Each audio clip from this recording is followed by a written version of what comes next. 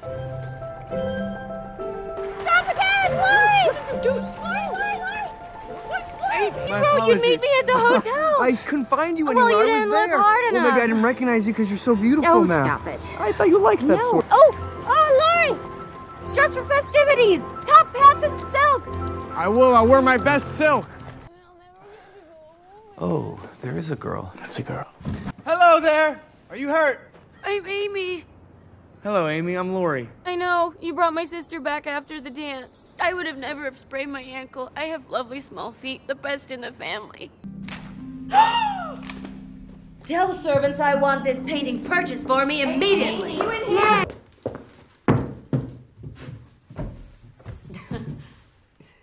May I ask your last portrait be of me? Here.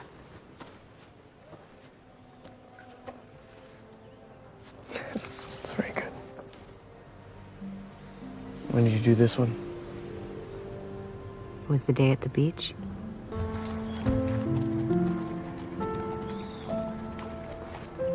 It's Laurie. How do I look? Do I look all right? You look beautiful. You are beautiful.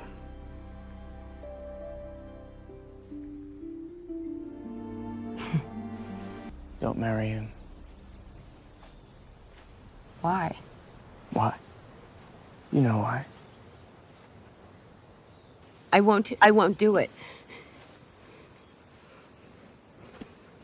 I won't. Not when I've spent my entire life loving you. And you are under no obligation to say anything or do anything.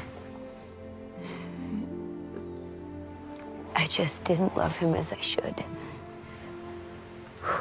So we don't need to talk about it. We don't need to say anything.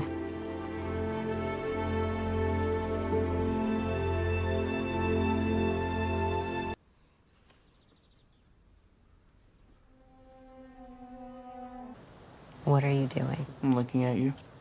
I mean, what do you intend to do? Who, who's this? Who are you? Please stay. We have more than enough room. Someone tell me who this man is. Mm, that's where Fred Vaughn comes in, I suppose. Don't make fun. I said his name. I'll only plague him if I go, so I might as well stay and plague you a little longer. You can bear it. In fact, I think it agrees with you. Laurie, prepare the horses. We can catch him before he gets on the train. Laurie, can you stop standing there and go get the horses ready?